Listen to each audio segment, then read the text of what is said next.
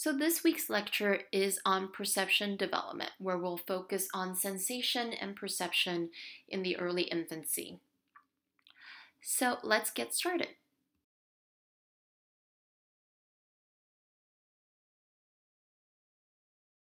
So please take a look at the chapter objectives before you even begin this lecture.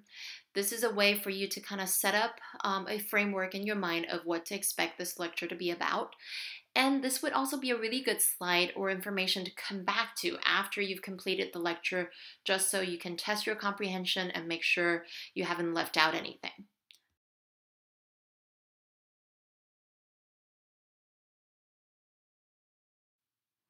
Start from the left of this image. Imagine yourself to be a baby seeing this object for the first time. So, without much interpretation, how might you experience or quote unquote sense what's in front of you? For example, if you closed your eyes, what might you smell or hear? And then if you opened your eyes, what might you see? What might you feel if you touched it or played with it?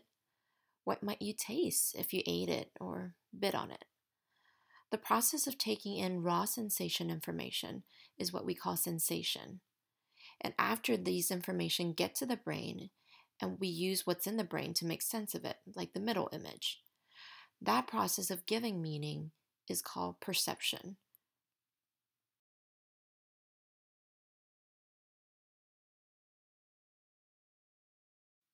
So, this is the age old nature versus nurture debate the nativist perspective or nurture side of things, they argue that perceptual skills are innate.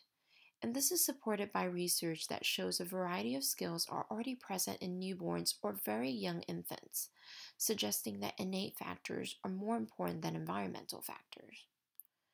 The opposite argument, empiricism or the nurture side of things, it takes the view that perceptual skills are learned and animal research shows that at least some minimum level of experience is needed to support the development of perceptual systems.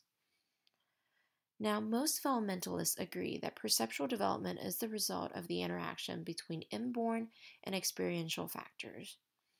An example of this would be a newborn baby's ability to discriminate between her mother's face from a very familiar um, woman's face, like grandma's. The familiarity with the mother's face must be the result of experience, and yet that capacity to make the distinguish um, between mother's face and grandma's face must be built in.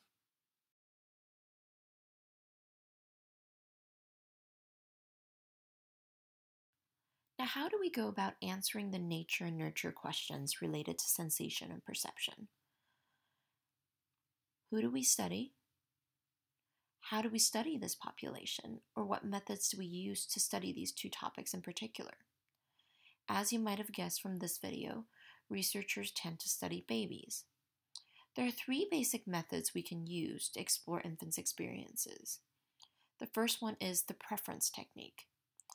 This is where the researchers determine whether many babies shown the same pair of pictures consistently look longer at one picture versus another. This would indicate whether the babies notice the differences between the two pictures and whether certain types of objects or pictures capture the baby's attention more than others.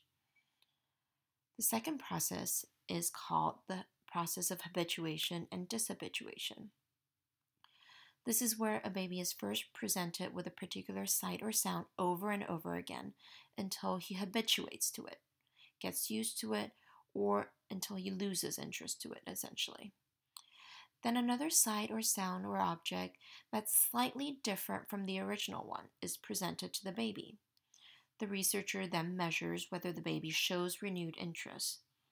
If he does, that's proof for dishabituation. That means the baby perceives some kind of change, that's why he's interested in it. In the next slide, there'll be a YouTube video to help you see what this looks like in real life. A third option of studying babies would be using the principle of operant conditioning, which we talked about in chapter 1. This is an example of where babies might be trained to turn her head when she hears a particular sound, and then using a sight of an interesting moving toy as reinforcement to establish this movement. Then, after this learned response is established, the experimenter can vary the sound in some systematic way to see whether or not the baby still turns her head. Now that we know who and how to study, why do you think we often study babies for the topic of sensation and perception in terms instead of other population?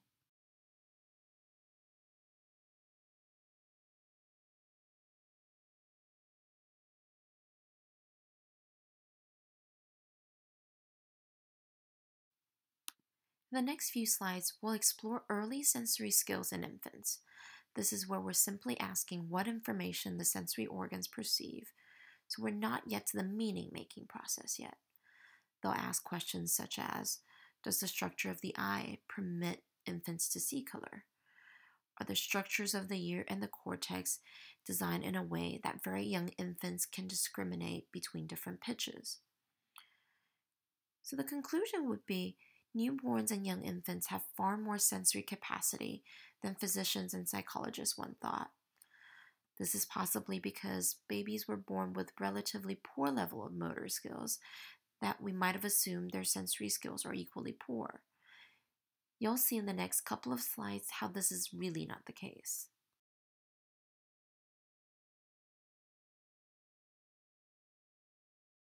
So let's talk about vision development in infants in the first year. First, visual acuity is the concept that refers to how well one can see. At birth, an infant's visual acuity is between the range of 2200 to 2400. So let's translate that back to English. If you're 2200, this means you can see at 20 feet what an average person can see at 200 feet. So, compared to quote unquote normal visual acuity of 2020, which we hear often, this is where you can see at 20 feet what an average person can see at 20 feet. So, in other words, the higher the second number, or the denominator is, the poorer someone's vision is. As you can see in the slide, an infant's visual acuity improves pretty rapidly during the first year as a result of all the swift changes that occurs within the brain and their experiences and by six months, an infant's visual acuity is already about 20/20. And in terms of colors, we know that babies have the type of cells to perceive red and green at least at one month and perhaps even earlier, and this probably applies to the color blue as well.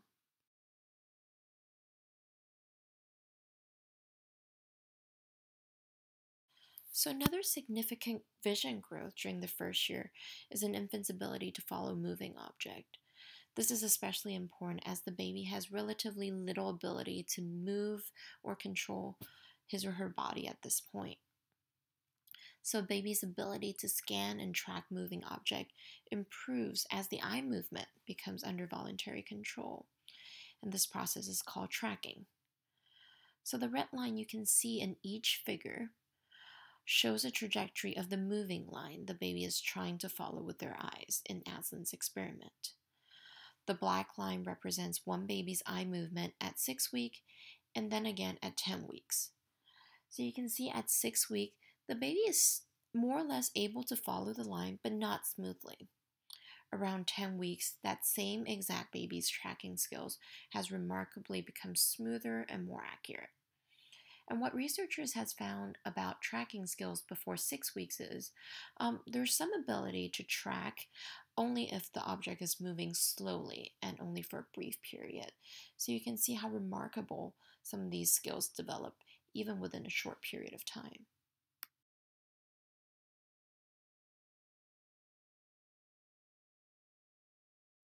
In terms of hearing, infants' auditory skills are far more superior than their vision at birth. They can hear almost the same as adults do in terms of general pitches and loudness, with the exception of high pitched sounds, which they need to hear at a higher volume. Their ability to detect the location of sound is present at birth and improves pretty rapidly with age, reaches adult level around two years of age. So, looking at the auditory milestones on this slide within the first year, it's pretty remarkable how much a little human being grows within a short time. So for one month old, they can distinguish between pa and ba. Up to six months, baby can discriminate all sounds and contrasts that appear in any languages, include the language that they do not hear spoken around them. So, all this we'll kind of revisit again when we talk about language development. But something I wanted to mention now is this is why a lot of times people would advocate for exposure to different sounds at an early age, because that ability to differentiate between different sounds disappear by about 12 months of age. So, if you think about it, it's good to expose baby to different music, different languages, and just different tones of sound to sharpen their listening and potentially their language skills.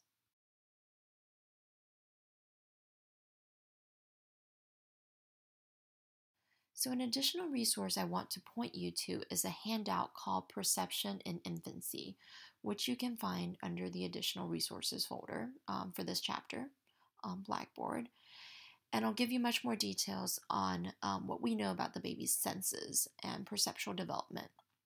Here, I'll just give you a quick overview on some of them before we move on.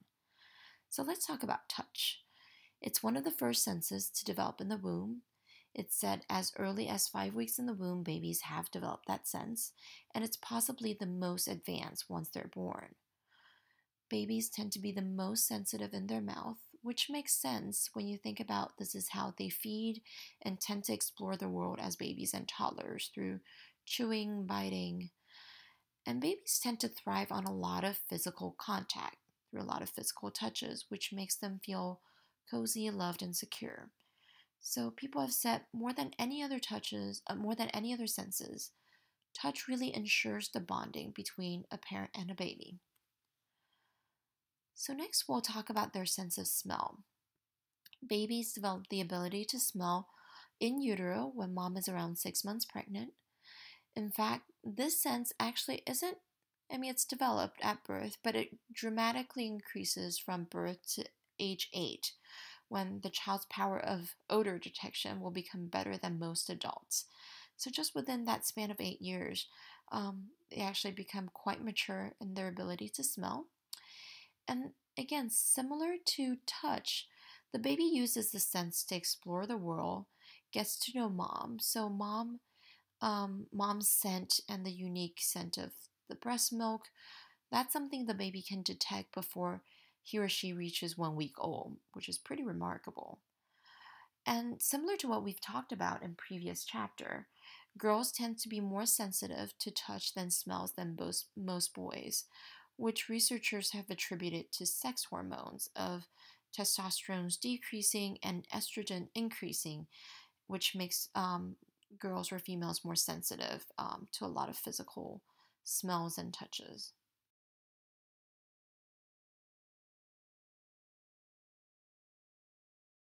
So, similar to touch and taste, the baby's taste buds are also developed in utero. And this is because she's exposed to the mother's diet through the amniotic fluid. And not only during pregnancy, even after birth, mom will continue to share flavors with the baby after birth, especially if the mom's breastfeeding. The food also passes through the breast milk and depending on what mom eats, the breast milk just tastes a little different each time based on the food. However, no matter what mom eats or um, during the first couple of months of motherhood, if mom is breastfeeding, the baby is born with a sweet tooth. So anything sugary is yummy and soothing. So that's why babies tend to gulp up breast milk and formula since both are very sweet. You can say this is nature's way of providing the perfect food for babies. And here you can see babies can taste these five main tastes at a pretty early age, either at birth, shortly after, or within the first year. Do you want to guess which out of these five tastes babies can't really taste until four months of age? You can probably guess from that little picture full of baby um, expressions. Babies actually don't develop um, salt appreciation until four months of age.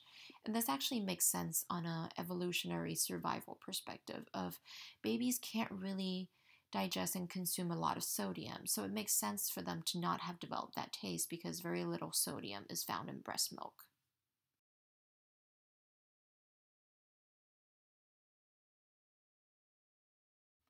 So, how exactly do infants perceive the world? One very important concept is called intermodal perception. This is where newborn infants do not just use one sense exclusively, but they expect sight, sound, and touch to go together from the very beginning of life.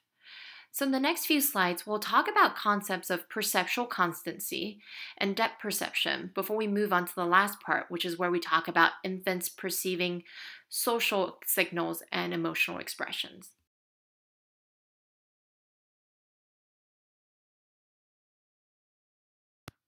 So, in order for babies to make sense of what they see into a single coherent representation, so going from senses into perception, they must acquire a set of rules, and these are called perceptual constancies. So, the first of these rules is size constancy. This is where babies begin to understand the same object can look very different. And this is something they master very early on. They recognize that an object remains the same size despite its distance from the observer. So the two pictures on this slide would be examples of size constancy. That you understand despite how they look different, they're the same object.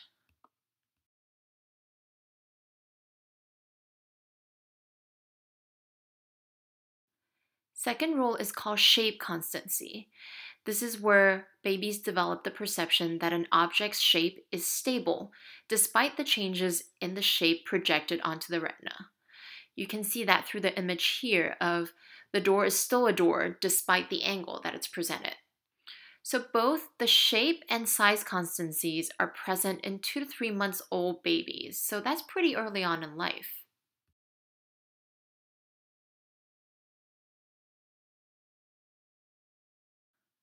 Third rule, color constancy. This is referring to the ability to recognize that colors are constant, even though the amount of light or shadow on them changes. So, combining color constancy with the two previous rules, these three specific constancies add up to a larger concept called object constancy. This is where babies recognize that objects remain the same even though the sensory information about them has changed in some way.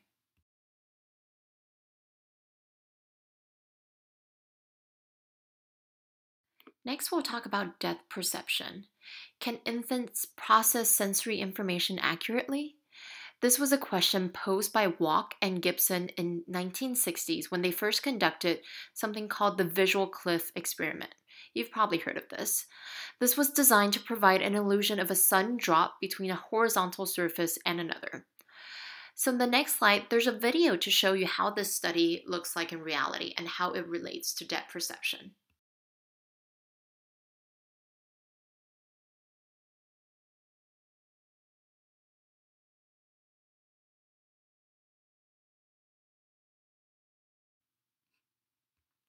Infants are particularly interested in looking at human faces, but tend to focus on different areas of the face depending on their age. At birth, infants are said to be attracted to the border of the face, so the periphery.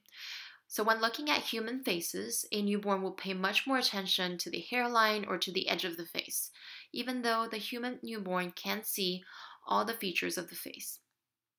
By two months of age, infants begin to attend to the more internal features of the face, such as the nose and the mouth. By three months of age, what researchers have found is that infants almost focus entirely on the interior of the face, particularly the eyes and the lips. And theorists believe infants might be more attracted to those parts because um, faces have stimuli that move, particularly in the eyes or the lips area. So they're attracted to that movement. They can track that, as we've previously said. And potentially because there's stimuli that's related to lighter and darker contrasts um, the eyes, the lips, and the teeth. What's really interesting is by three months of age, infants can tell the difference between his or her mother's face and a stranger's face.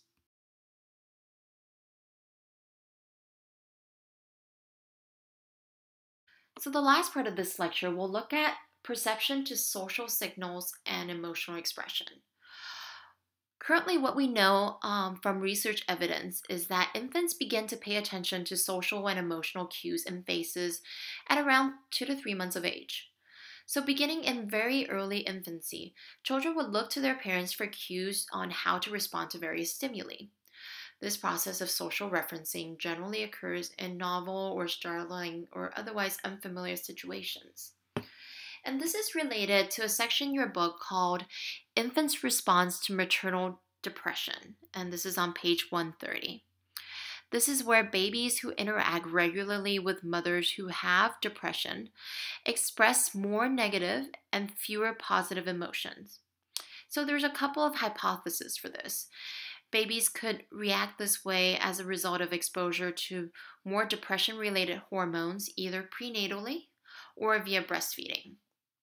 However, you can also say because mothers who have um, depression tend to maybe exhibit more negative and fewer positive emotions when they're interacting with their human um, infants.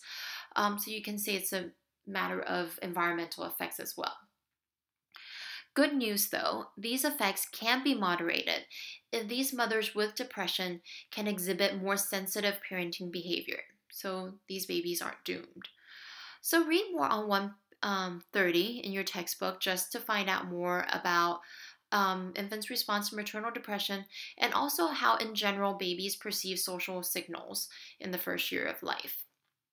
In the next slide, there's a related video um, that you can watch just to get a better idea of what this looks like in reality.